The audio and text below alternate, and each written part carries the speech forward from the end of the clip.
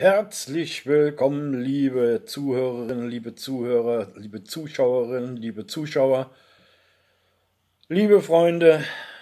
Hier ist wieder euer alter Mann. Es ist heute Donnerstag, der 2. April im krisengeschüttelten Jahr 2020. Und ich habe heute ein ganz spezielles Thema. Und zwar geht es um meine Bundeswehrzeit. Und in dem Zusammenhang möchte ich heute meine Ausführungen starten mit einem respektvollen, sehr, sehr, sehr respektvollen Gruß an alle Kameraden, die zurzeit im Auslandseinsatz sind. Ganz besonders der Truppe in Afghanistan, wo ich jetzt momentan über äh, soziale Netzwerke einige Kontakte habe und deren Sorgen und Nöte nur zu gut kenne. Aber kommen wir zurück zu Herrn Werner Michael Heuss, auch genannt der alte Mann, der ja 1978 im August seinen Einzelhandelskaufmannsbrief in der Tasche hatte, in dem großen Supermarkt auf der anderen Rheinseite in Bonn-Beul keinen Platz bekam, weil er noch nicht bei der Bundeswehr war. Und kurze Zeit später kam auch meine Einberufung. Erst war die Musterung, dann kam die Einberufung. Und ich weiß es noch wie heute, an einem schönen 2. April 1979 ich bilde mir ein, es war ein Dienstag, stand ich ganz fröhlich mit vielen jungen Leuten zusammen in Köln auf dem Hauptbahnhof und dann kam der Sammeltransporter und hat von vielen anderen Städten auch noch junge Menschen eingeladen und ich war zuversichtlich, meine Erwartung lag irgendwo so zwischen, in der Mitte zwischen der wohlbehüteten Zeit bei der Großmutter und den Querelen im Haushalt meiner leiblichen Mutter und meines Stiefvaters. Und damit lag ich unterm Strich gar nicht so verkehrt. Irgendwann landete dieser Zug an der Endstation und dort stand am Bahnhof Munster Lüneburger Heide rund 320 Kilometer von meinem Heimatort entfernt. Es sah ganz gut aus und ich kam in eine Einheit. Das war nicht irgendeine Einheit, sondern ich wurde am 2. April 1979 eines der kleinsten Rädchen in dem großen Räderwerk des Panzergrenadier Lehrbataillons 92. Und wir waren auch nicht in irgendeiner Kaserne, sondern wir waren Teil der Panzertruppenschule Munster. Die Panzertruppenschule bildet Unteroffiziere, Offiziere des Heeres aus riesiger Schulungsbereich und im vorderen Teil der Kasernenanlage, die sich da nennt Panzertruppenschule, lag das Panzergrenadier-Lehrbataillon 92. Das ist dort heutzutage schon lange nicht mehr. Und ich kam, damals gab es noch eine Ausbildungskompanie, die gibt es heute auch nicht mehr in, in, unter diesem Namen. es war die Ausbildungskompanie 408. Und es war ein herrliches Abenteuer. Ich formuliere es mal so. Und zwar stand ich da, kurz vor meinem 20. Geburtstag. Es erfolgte die Zugeinteilung, dann erfolgte die Gruppeneinteilung. Und mein Gruppenleiter stand vor mir, guckte mich hämisch an und stellte sich vor, als Stabsunteroffizier sowieso, 18 Jahre alt und so eine riesengroße Berliner Schnauze. Das war insofern ein Ding, in Anführungszeichen, weil Bürger von West-Berlin überhaupt nicht der Wehrpflicht unterlagen. Der musste sich also freiwillig gemeldet haben und im zarten jungen Alter, der Stabsunteroffizier hieß damals, er musste schon mindestens zwei Jahre dabei sein und wie gesagt, das Bengelchen war 18 Jahre alt und der konnte schreien. Mein lieber Herr Gesangsverein, was konnte der schreien? Wir sind dann aber späterhin ganz gute Freunde geworden. Ich hatte riesiges Glück, muss ich sagen. Während der Grundausbildung, die normalerweise drei Monate dauert, war ich nur sechs Wochen in der sogenannten grünen Ausbildung. Wir waren ja Grenadiere. Und Grenadiere, wenn man so im Bundeswehrjargon nach außen irgendwo sich unterhalten hat, dann waren wir ja nichts anderes als Spaten-Paulis, wir hatten einen Klappspaten und damit haben wir im Notfall oder in Gefechtssituationen eben Gräben gebuddelt, um uns und die Kameraden zu schützen. Das war eben halt so. Äh, zu späteren Zeiten, wo ich an ähm, Lagerbesprechungen teilgenommen habe, viele Jahre später, da habe ich dann immer, wenn wir äh, Schießen verbundener Waffen, also mit Artillerie, mit, äh, mit ähm, Panzer, mit Pionieren, mit Fernspektrum und so weiter hatten, dann habe ich bei der Lagebesprechung immer gesagt, äh, wenn die gesagt haben, ja, die, die Grannies, die machen wieder dies und das und jenes, da habe ich mal gesagt, Herr Oberstleutnant, entschuldigen Sie bitte, also Sie wissen ja ganz genau, wir können als Grenadiere nicht tiefer buddeln als 80 Zentimeter. Beim ersten Mal guckten die natürlich alle, weil die haben gedacht, ist der jetzt ein bisschen durchgeknallt oder wie auch immer. Dann haben die gefragt, wie kommen Sie denn da drauf, Herr Oberfeldwebel? Ich habe gesagt, ja, nach 80 Zentimeter treffen wir auf die ersten Pioniere. Und da war großes Gelächter und tralala. Ähm, aber das sind so interner für die Leute. Und ich, heute ist mein Ziel, äh, mal ein bisschen mit 30 Jahre Abstand diese Zeit Revue passieren lassen, die ich genossen habe. Erstens mal, äh, ja, das ist heute was, was die heutige Jugend vielleicht gar nicht, gar nicht mehr nachvollziehen kann was man bei der Bundeswehr lernt, wirklich lernt, das ist an erster Stelle Kameradschaft, Zusammengehörigkeitsgefühl, der eine für den anderen einstehen. Dazu kommt auch noch ein bisschen Ordnung. Ich spreche jetzt vom Bettenbau in der Stube. Die mussten nach einem ganz bestimmten Schema gemacht. Und das war aber alles irgendwo logisch aufgebaut und man konnte jede einzelne Handlung wirklich erklären. Und was mich über die ganze Bundeswehrzeit fasziniert hat, mein Jahrgang, also ich war ja 1979 bis 91, also äh, die guten 80er Jahre im Prinzip. Wir haben noch ein Ausbildungsmodell praktiziert, das kann man beliebig überall äh, anführen und dieses Ausbildungsprinzip hieß Venue. V-E-N-U-E, wie Uelzen. Das V stand für Vormachen, das E für Erklären, das N für Nachmachen und das UE als Ü für Üben. Und was anderes braucht man nicht, um ja, einen Ausbildungsplan zu machen. Wenn man sich daran hält, dann kann man eigentlich jedem beinahe alles beibringen. Mein Stabsunteroffizier Gruppenführer, den habe ich ungefähr nach 14 Tagen geknackt. Der hat für sein Leben gerne gebrüllt, aber wirklich in einer Lautstärke wie so ein Marktschreier auf dem Hamburger Fischmarkt, den du auch so 500 Meter weiter noch hörst.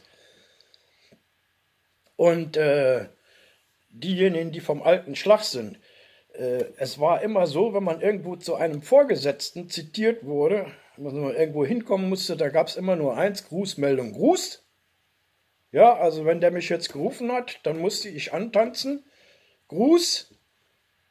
Panzergrenadier Heuss meldet sich wie befohlen, Herr Stabsunteroffizier. nochmal Gruß, Feierabend. Wenn der mir auf den Keks ging, in Anführungszeichen, weil er wieder dummes Zeug rum durch die Gegend schrie, dann bin ich gekommen, habe mich hingestellt, Panzergrenadier Werner Michael Heuss meldet sich wie befürchtet ohne besondere Vorkenntnisse, Herr Stabsunteroffizier. Dann ging der ab wie ein Zäpfchen. Er hat dann auch mal bei einem anderen Vorgesetzten eine Stufe höher oder zwei Stufen höher auf die Tränchendrüsen gedrückt. Leider hatte der gute Mann aber keine Argumente, weil ich habe ja gesagt, melde mich wie befürchtet. Ich war insofern befürchtet, als dass ich ziemlich schnell das System erkannt hatte und angefangen habe, den Bundeswehrkalender zu lesen. Der Bundeswehrkalender im Prinzip ist ein so Meter 20, so, so, so ähnlich wie, kann man sich vorstellen, wer, wer das kennt, ähm, Fremdsprachenübersetzungsbücher. Ja, die sind meistens so, so, so breit und nur so hoch. Ja, und haben so kleine Blätter. Ich habe angefangen, das zu lesen. Ich habe in meiner Freizeit immer viel gelesen, habe ich dann so eingelesen. Äh, ihr müsst euch mal vorstellen, das wurde äh, im Laufe meiner Zeit bei der Bundeswehr wurde das geändert. Es gab eine zentrale Dienstvorschrift 3-17. Da stand tatsächlich, das ist jetzt kein Scherz, da stand, stand drin, ab einer Wassertiefe von 1,20 Meter hat der Soldat selbstständig mit Schwimmbewegungen anzufangen. Das ist ja faktisch, faktisch war das vollkommen richtig. Aber wenn man das gelesen hat, dann hat man so im ersten Moment gedacht, sag mal, wollen die mich jetzt hier verkaspern? Äh, und ich habe genug Menschen kennengelernt, die überhaupt nicht schwimmen konnten, die bei der Bundeswehr kamen, denen man wirklich noch Schwimmen, Schwimmen beibringen musste. Das war noch eine, eine ganz andere Geschichte. Aber da, da möchte ich gar nicht drauf hin. Ich hatte dann also das riesige Glück, nach sechs Wochen wurde ich äh, zum Einheitsführer gerufen und dann wurde mir mitgeteilt, zopp, ab übermorgen bist du in der Fahrschule. Schwupp, guck, und dann wurde ich Fahrschüler. Mein Fahrschulfahrzeug, die wirklich ganz, ganz alten, aber da müssen diese Leute müssen jetzt schon mindestens ah, 65 oder 70 plus Jahre alt sein, die kennen das noch. Ich habe auf dem alten MAN noch gelernt, auf dem ganz alten, mit äh, Kuppeln, Zwischengas, Einkuppeln, Auskuppeln und so weiter. Es war herrlich. Wir waren drei Fahrschüler und ähm, ich hatte ja nun schon Führerschein äh, fürs Auto. Das war äh, irgendwo, sagen wir mal, ein Vorteil. Äh, die anderen beiden Kameraden, Fahrschüler, hatten gar keine Fahrpraxis. Der eine war, hat den Führerschein angefangen, der andere überhaupt gar nichts. Und der Fahrschullehrer, äh, darf man eigentlich gar nicht erzählen, aber der ist, den gibt es auch nicht mehr auf dieser Welt. Der war nicht nur Fahrschullehrer, sondern der hat auch noch nachts gearbeitet. Und zwar gab es in Munster eine NATO-Straße mit so gewissen Etablissements. Und eins davon hat der äh, als Geschäftsführer bewirtschaftet. Also der ist immer erst morgens so ja, um vier oder was ins Bett. Ja, und um 7 Uhr äh, 15 oder 30 fing die Fahrschule an. Und dann war der gute Mann etwas übermüdet. Und dann hat er gesagt, Werner, du fährst bis da und dahin. Gut, alles klar, habe ich gemacht. In der Zwischenzeit war der dann, ich konnte da einfach so fahren. Also der hat sich halt beim ersten Mal angeguckt und ich, ich habe auf dem Ding, also äh, nach 30 Minuten war das so, als ob ich noch nie woanders äh, drauf gesessen hätte und, und das Fahrzeug war für mich ein reiner Selbstläufer. Und dann, und das darf man eigentlich heute gar nicht erzählen. Das war in, Anforder in Anführungszeichen das, was man heutzutage gemeinhin als harte Sau bezeichnen würde. Der eine, der war wirklich, aber der konnte nichts dafür. War ein ganz lieber Junge, kräftig, ein Bodybuilder, der hatte damals schon einen stahlharten Körper.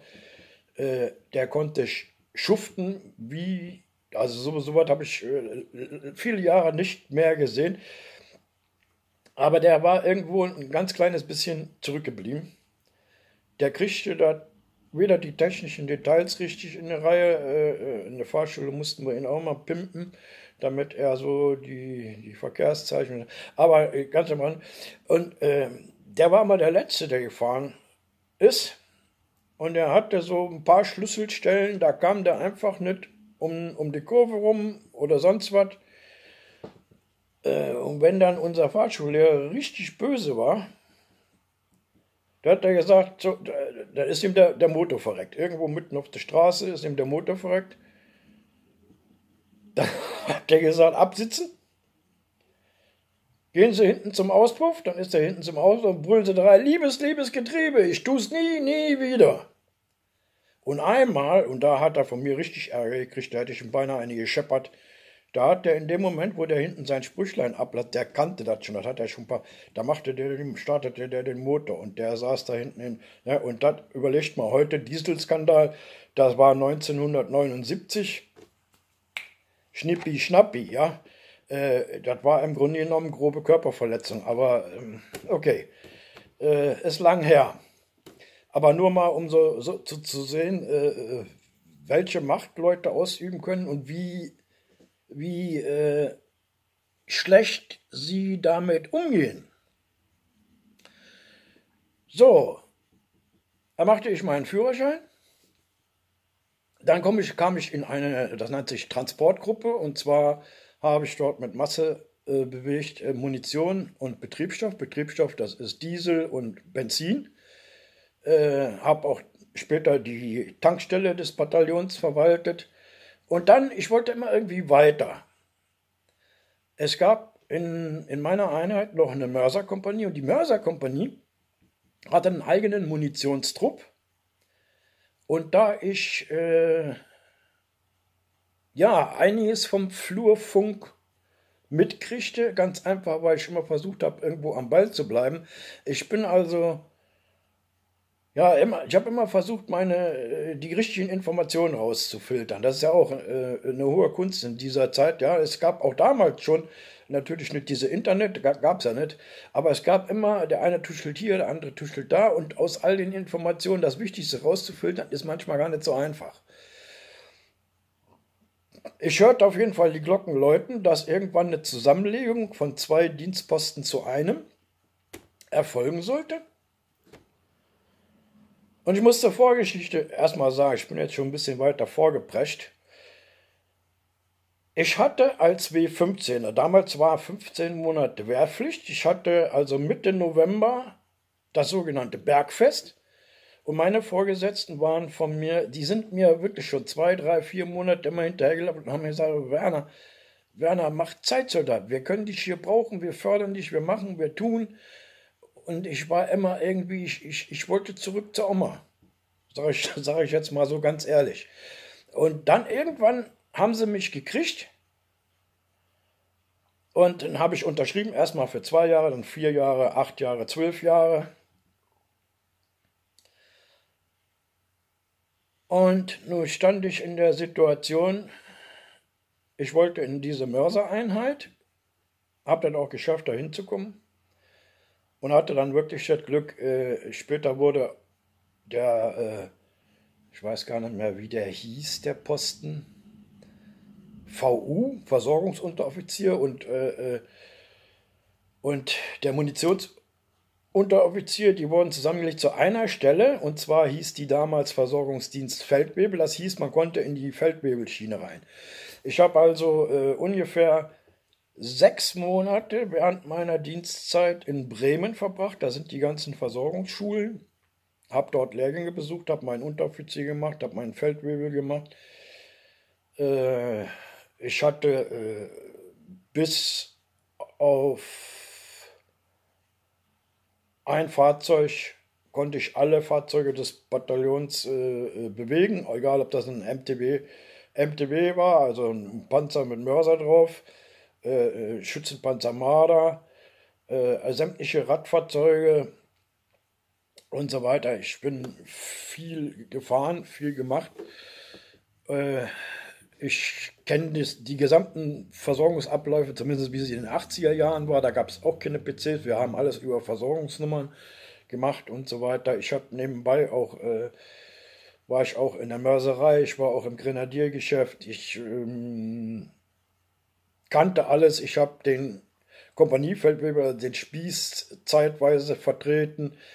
Ähm, und vor allen Dingen war ich während meiner gesamten Unteroffizierslaufbahn war ich Vertrauensmann der Unteroffiziere und habe mich für alles Menschenmögliche eingesetzt, angefangen von, von ganz normalen äh, äh, dienstlichen Sorgen, dass irgendwo Missstimmungen zwischen ähm, Vorgesetzten untereinander war oder äh, sei es private Probleme zu Hause mit der Ulla.